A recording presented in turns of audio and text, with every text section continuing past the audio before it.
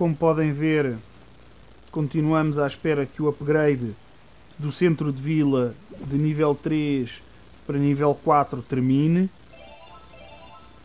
Já atingimos o máximo de capacidade que podemos guardar de elixir, temos 51 mil, mas apenas 24 mil de dinheiro. Uh, já limpei aqui esta área toda. Esta áreazinha aqui embaixo já foi toda limpa. Daí aí só termos os 24 mil de dinheiro porque isto estava cheio de pedras. Estas enormes pedras que parecem mais uh, uns calhaus da calçada. Custam 20 mil, eu tive que retirar dois, portanto ficámos mais reduzidos para 24 mil. Um, organizei aqui um bocadinho a cidade, coloquei aqui, já ativei o castelo do clã. O castelo do clã, assim que cliquei em melhorar nos 10 mil, foi instantâneo, ativou logo. Pensei que tivesse horas de, de, de trabalho, não é? Como estamos a ver aqui no centro de vila, são 24 horas que estamos à espera, mas afinal o castelo do clã é instantâneo, não temos que esperar. Ao ativar o castelo do clã, ganhamos estas espadinhas aqui do lado esquerdo. Vou clicar-lhes, vai aparecer um aviso no ecrã. Temos que estar incluídos num clã para podermos usar esta funcionalidade. Portanto, para já ainda não é possível ver. Mas hum, amanhã ou depois da manhã, assim que entrarmos num clã, já vai estar disponível e já poderemos ver o que é que se passa com ela. Ao entrarmos no clã, aqui do lado esquerdo, a nossa barrinha de conversa onde está o global, temos também o clã. Quando entrarmos num clã, podemos vir aqui conversar com os membros do clã. Para já não há muito mais a fazer. Isto está quase tudo completo. Já, já temos o muro todo no máximo.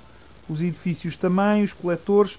Estamos só à espera que termine o upgrade do centro da vila. Amanhã, assim que terminar o upgrade, uh, iremos uh, mudar a cidade aqui para baixo, para este espaço, e iremos incluir uh, as novas construções. A loja amanhã vai desbloquear aqui mais umas defesas, hoje está bloqueado, não é? Mas amanhã, quando terminarmos o upgrade, iremos ver que vai desbloquear mais um coletor de, elixir, mais uma mina de ouro e por aí fora. Fomos novamente atacados. Este jogo é muito jogado, portanto, sempre que estamos offline, somos atacados. Como eu já tinha falado, eh, nós estávamos completamente vulneráveis contra voadores.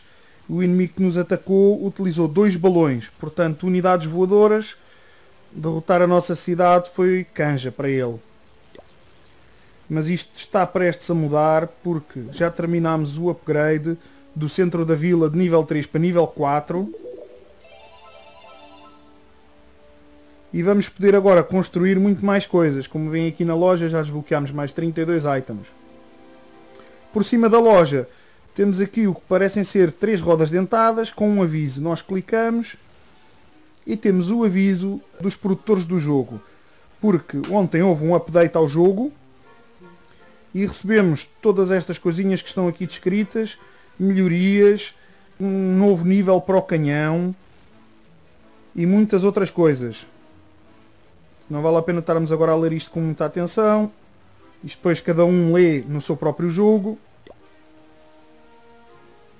Agora vamos tratar, de, temos 7 horas e 38 minutos de escudo, vamos tratar de colocar aqui mais armas, nomeadamente antiaéreas. Vamos às defesas. Podemos, portanto, mais uma torre de arqueira, mais muro. E aí está ela, uma antiaérea.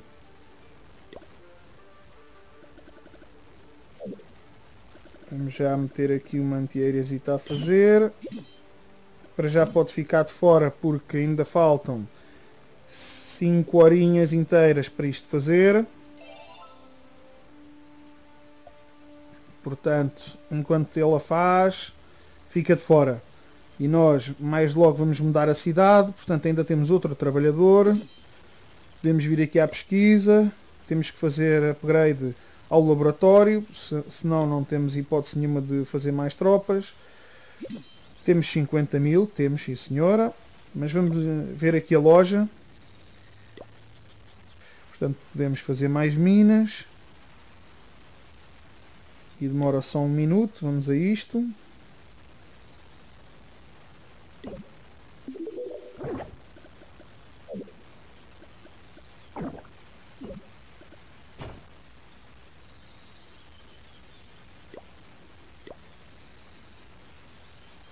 Temos as molas. As molas também são bastante importantes. Porque conseguem repelir gigantes. Nesta altura do campeonato, os gigantes são um dos bonecos mais fortes do jogo. Epá, as nossas armas ainda têm um nível muito baixinho, demoram muito tempo até matar os gigantes. Tal como viram nos, nos ataques que eu fiz, eu também usei gigantes e o inimigo também teve bastante dificuldade em matar os gigantes. Portanto, as molas salvam muitas vezes uma cidade se os gigantes inimigos caírem nas molas. As molas conseguem repelir até 3 unidades de cada vez. Portanto, se vierem 3 gigantes juntinhos uns aos outros, vai tudo ao ar. Vamos meter aqui as molinhas aqui na minha torre. Para já fica assim. Estes pequenos upgrades vou fazer mais para a frente. E vou meter 5 horas aqui no laboratório também. E assim, quando terminar o upgrade ou a construção da nossa antiaérea, termina aqui o upgrade do laboratório. Estamos a terminar dois upgrades. Um ao depósito de elixir e o outro ao depósito de ouro. Como veem aqui, as armadilhas que coloquei de manhã já deram efeito, já foram usadas, por isso é que tem a mola solta. Se clicarmos em rearmar, vejam como elas ficam. Podemos ver um replay a mostrar o que aconteceu.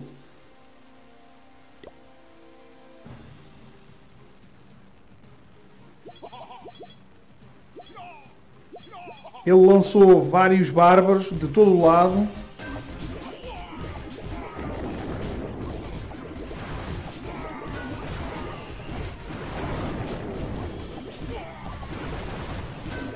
Foram simplesmente demasiadas tropas para as nossas pequenas defesas resistirem.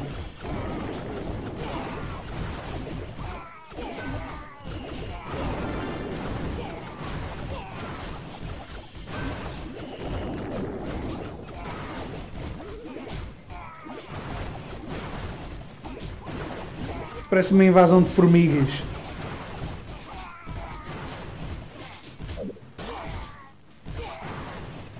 Fomos. Este grande maluco utilizou 125 tropas para derrotar a nossa cidade. Muito bom.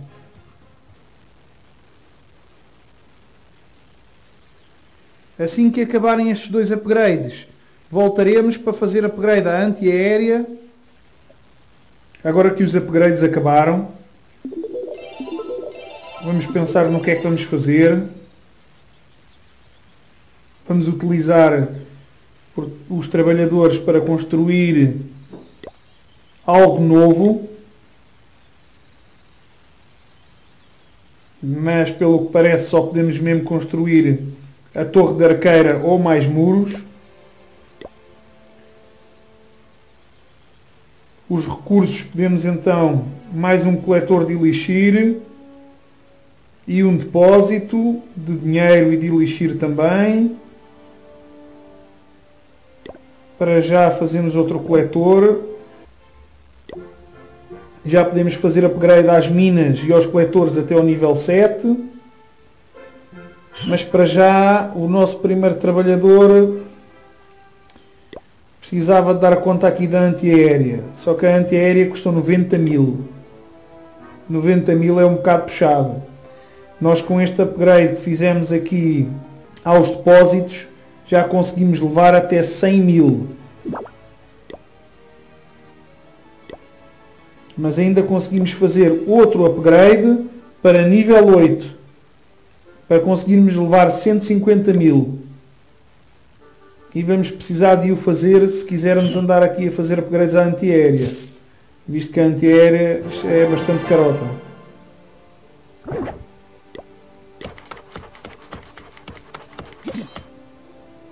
Também o laboratório de nível 2 custa 90 mil.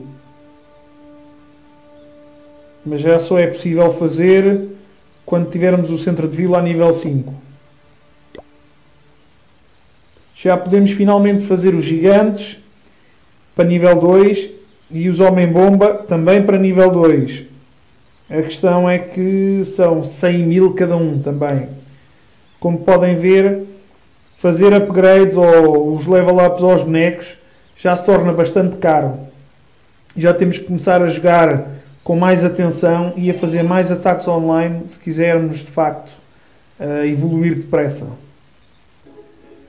Portanto, se já só volto a jogar amanhã, enquanto durmo, convém fazer os upgrades maiores para manter os trabalhadores ocupados durante toda a noite, porque se eu for fazer aqui um upgradezinho que dura 4 horas, como podem ver aqui, isto acaba à meia da noite e é um trabalhador que fica desocupado. Epá, isto não pode ser, temos que ter atenção a isto.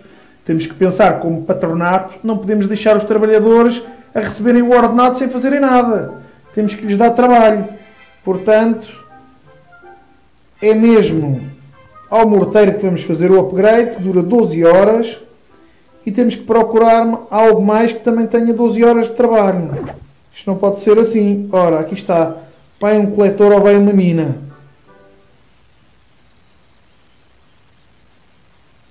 Também já podemos fazer, alterar aqui a nossa cidade e colocar aqui embaixo. Por exemplo, se clicarmos no muro, veem que aparece aqui as informações, selecionar fila e melhorar. Se nós selecionarmos a fila, podemos arrastar a fila inteira de muros de um lado para o outro e realocar assim a nossa cidade.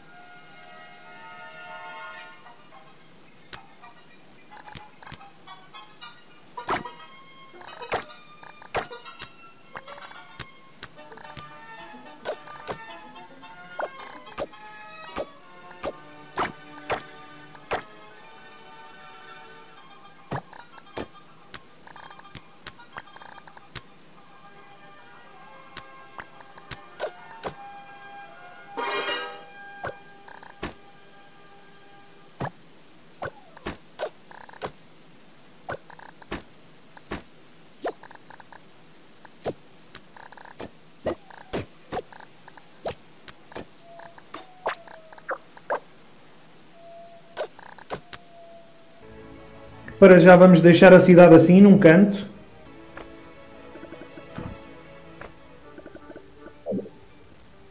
Depois se o inimigo nos atacar por este lado aqui ou por este lado, a torre das arqueiras defende de todos destes dois lados e o morteiro também. Por outro lado, metemos os dois canhões virados para o lado do centro da vila, porque normalmente é por onde eles costumam enviar as tropas para destruir o centro da vila, para terem certeza que fazem as estrelas e que ganham a batalha. Assim que aderirmos a um clã, este edifício do castelo, do clã, passará a ser o centro da nossa vila. Como podem ver, é a área efetiva deste castelo. Portanto, sempre que, quando tivermos tropas do castelo do clã cá dentro, basta um inimigo entrar dentro desta área e as nossas tropas saem para socorrer a cidade. De momento, como ainda não temos, eh, não vale a pena estar a colocar este edifício no centro. Mas assim que tivermos num clã, temos que o colocar no centro da cidade. Para isto, também temos que criar mais muros porque os muros farão a cidade aumentar e não faz muito sentido termos aqui um centro, um castelo, que a área de ataque é muito maior que a área que nós conseguimos defender. Isto porquê? Porque basta um inimigo lançar uma tropa contra o castelo, as nossas tropas do castelo saem para defender, matam esse inimigo e a seguir, se o inimigo lançar alguma tropazinha aqui em cima, no canto, as nossas tropas vão daqui a correr, a correr até interceptar o inimigo. O inimigo lança outra tropinha aqui e quando as nossas tropas chegarem aqui em cima, 100% desprotegidas, seja do que for, o inimigo pode matá-las com um trovão ou fazer-lhes uma emboscada com as suas próprias tropas. Como podem ver, a área que o castelo apanha é muito maior do que a cidade que eu tenho construída. Mas isto está, está prestes a mudar. Nós, em poucos dias, vamos construir e vamos expandir a cidade muito mais. Portanto, agora fazemos upgrade a este, 12 horas. E é uma mina, 12 horas. Vemo-nos amanhã.